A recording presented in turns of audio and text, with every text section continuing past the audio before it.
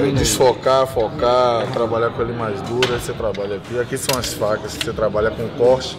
Se você quiser fazer um corredor, coisa então, você trabalha cortando aqui. Aqui corta do lado esquerdo, sempre invertido. O elipse sempre é invertido. Aqui você corta do lado esquerdo, aqui você corta do lado direito, aqui você corta a parte de baixo, aqui você corta a parte de cima.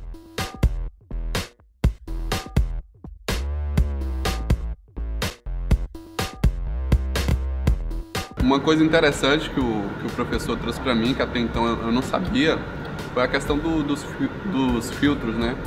A questão de temperatura de cor, filtros. Demonstrou pra gente uma diversidade de lâmpadas e possibilidades que a gente pode estar tá trabalhando na iluminação cênica. É a lâmpada par Foco 5. Você vê que é, ela tem um grau de é, ela é 20 graus de abertura.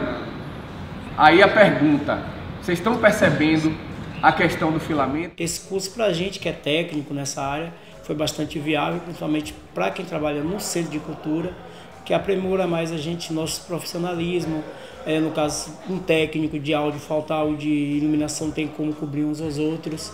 Realmente é desmitificando que no teatro somente a gente pode usar equipamentos de iluminação profissional, a gente pode usar qualquer tipo de lâmpada. A criatividade de cada um é o que diz, né? Essa luz, essa temperatura de cor dessa lâmpada aqui é quente, 3000 Kelvin. Aí eu quero transformar ela para uma luz fria. Aí eu, ó, esfriei. Mudei a temperatura de cor dela.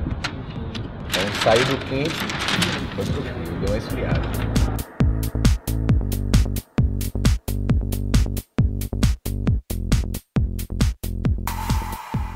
Botando o filtro, ou filtro ou uma cor, diminuindo o calor da lâmpada por do Pronto. Pra, em cima da pessoa? Qualquer filtro que você vai colocar, ele vai reter sempre algum calor, vai, vai sempre dar uma minimizada. Seja o mínimo ou, o máximo é 5%, 3%, mas ele sempre vai dar uma reduzida. Porque o filtro vai sempre absorver alguma coisa. O que eu levei de aproveito do curso foi aprender tonalidade de, de gel, Comecei também mexendo com coisas novas de iluminação que está tendo aí, né? Cada coisa sai uma, uma cor, essas, essas coisas pequenas que a gente vai crescendo, né? Sabendo que cada coisa faz. É isso aí que eu estou aprendendo muito.